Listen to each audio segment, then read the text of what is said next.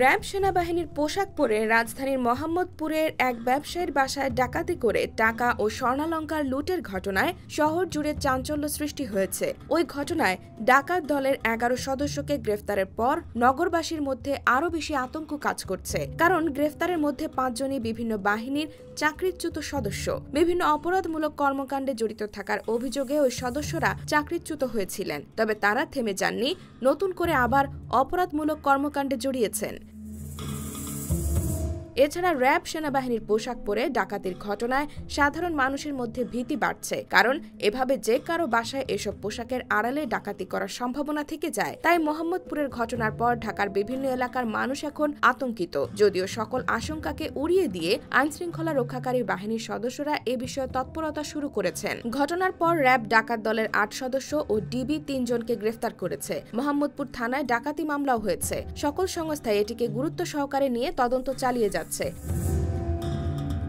শুক্রবার রাত তিনটার দিকে মোহাম্মদপুরের তিন রাস্তার মোড় বেড়িবাঁধ এলাকায় আবু বকর নামের ব্যবসায়ীর বাসায় র্যাব ও সেনাবাহিনীর পোশাক পরে বিশ থেকে পঁচিশ জন প্রবেশ করে। অবৈধ অস্ত্র থানায় জমা দেয়া হয়নি এমন অভিযোগে তারা বাসায় প্রবেশ করে। আবু বকরের বাসায় ও অফিসে ঘণ্টাখানেক অবস্থানের পর তারা সাড়ে পঁচাত্তর লাখ টাকা ও ষাট ভরি স্বর্ণালঙ্কার নিয়ে চলে যায়। ভুক্তভোগী আবু বকর বলেন, দুটি মাইক্রোবাস ও দুটি প্রাইভেট কার নিয়ে বাসার ভেতরে বিশ থেকে পঁচিশ জন ঢুকেছিল, বাইরেও তাদের লোকজন ছিল। বাসায় ঢুকে অবৈধ অস্ত্র থানায় জমা দেয়নি, তাই তারা অস্ত্র নিতে এসেছে এমন অভিযোগ করে। আমি অস্ত্র আগেই থানায় জমা দিয়েছি, এমন কথা জানানোর পরেও তারা বাসার আলমারি খুলে তছনছ করে। পরে তারা ফ্ল্যাটের একপাশে আমার অফিসে যায় এবং একইভাবে অস্ত্র আছে বলে সিন্দুক ও আলমারি খুলে টাকা নিয়ে নির্বিঘ্নে চলে যায়। প্রায় ঘণ্টাখানেক অবস্থান করে ভোর সোয়া চারটার দিকে বের হয়ে যায়।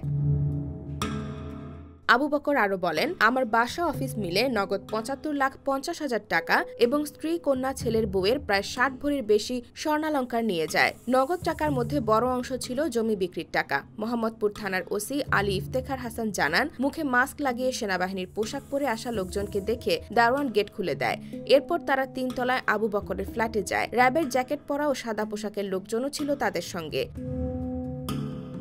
র্যাব জানায়, গ্রেফতার এগারো জনের মধ্যে পাঁচজন বিভিন্ন বাহিনীর চাকরিচ্যুত সদস্য, বাকি তিনজন সাধারণ মানুষ। তাদের কাছ থেকে সোনার একটি ব্রেসলেট ও আংটি উদ্ধার করা হয়েছে। ডাকাতির এ ঘটনায় কোনো বাহিনীর কেউ জড়িত থাকলেও তাকে গ্রেফতার করা হবে। ডিবি মোহাম্মদপুরে সংঘটিত চাঞ্চল্যকর ডাকাতি মামলায় সরাসরি জড়িত যে তিনজন ডাকাতকে গ্রেফতার করেছে। এ সময় গ্রেফতারকৃতদের কাছ থেকে দুই লাখ বিশ হাজার নগদ টাকা, প্রায় চার ভরি ওজনের স্বর্ণালঙ্কার ও দুটি আইফোন উদ্ধার করা হয়।